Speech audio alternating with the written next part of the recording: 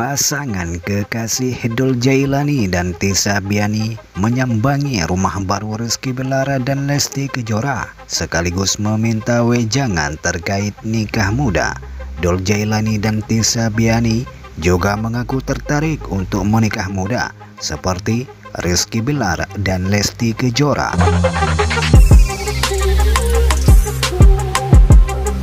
Rizky Bilar pun memberikan sebuah wejangan yang selalu dia lakukan dalam memutuskan hal besar, termasuk saat memutuskan untuk menikahi dengan Lesti Kejora.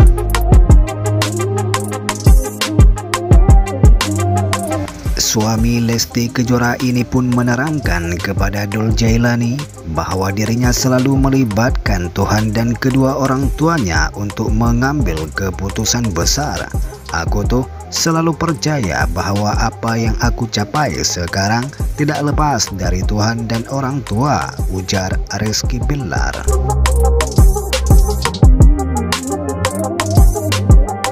Sampai sekarang pun insya Allah akan selalu melibatkan Tuhan dan orang tua termasuk dalam keputusan dalam memilih pasangan sambung suami Lesti. Melanjutkan obrolannya, Rizky Bilar mengatakan bahwa tidak hanya persoalan dalam memilih istri untuk melibatkan Tuhan dan kedua orang tuanya.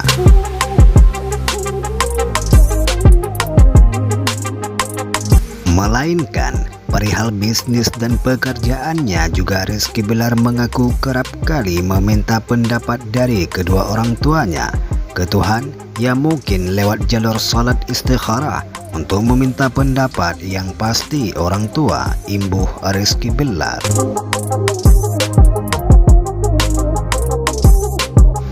Rizky Billar lantas menceritakan saat pertama kali meminta pendapat sang ibunda perihal Lesti Kejora.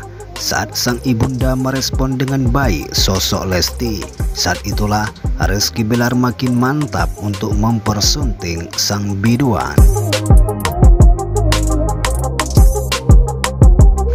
Mendengar cerita dari Rizky Belar, Dul Jailani pun merasa tertampar karena jarang menghubungi sang ibunda Maya Estianti.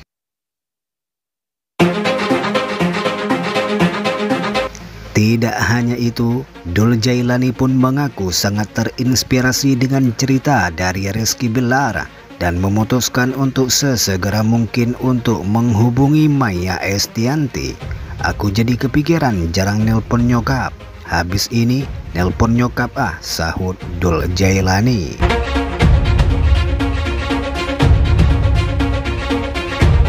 Lebih lanjut, Dul Jailani pun berterima kasih atas uwejangan yang diberikan Rizky Bilar kepadanya.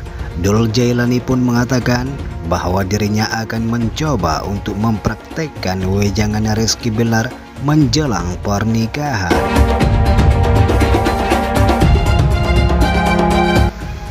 Begitulah informasinya.